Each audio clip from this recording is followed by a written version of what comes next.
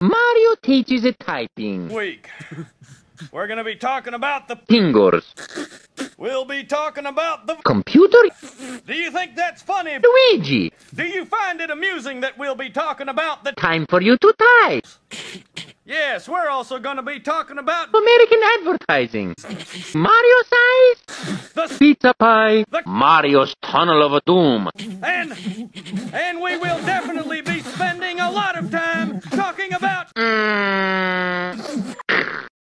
Ah. I hate my Penis!